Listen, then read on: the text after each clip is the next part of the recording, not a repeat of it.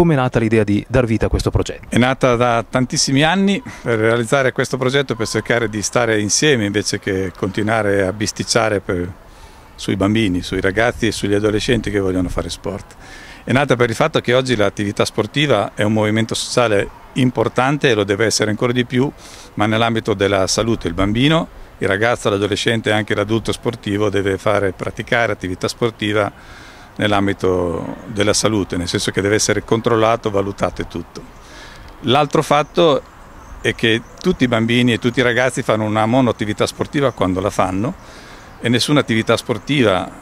è sufficiente a movimentare tutti gli apparati muscoloscheletrici e così anche le, le attività di gruppo sono diverse da quelle singole, per cui noi abbiamo inserito la complementarietà dell'attività sportiva all'interno dei nostri corsi. Tutti i bambini fanno almeno un secondo corso, provano durante l'anno diverse altre attività. L'ultimo fatto è quello economico, stare insieme si fanno economie di scale. Oggi le società sportive, associazioni varie fanno fatica veramente a sopravvivere, perché non è giusto chiedere emolumenti e chiedere quote associative così esorbitanti, ma dall'altra parte abbiamo istruttori validi, gente laureata senza motore che ha anche dei diritti economici e questo oggi si fa fatica a far funzionare. Insieme vuol dire economia di scale, vuol dire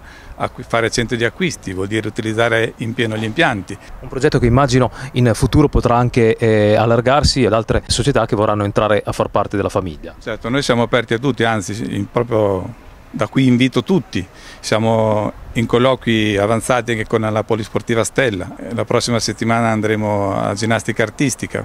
tutte le attività, tutte le altre società sportive possono partecipare, non abbiamo preclusione di alcun tipo, questa non è un'associazione di tipo economico, è un'associazione finalizzata a, a, fare appunto della sanità, della salute nell'ambito dello sport, per costruire quello che oggi manca a Rimini che sono gli atleti.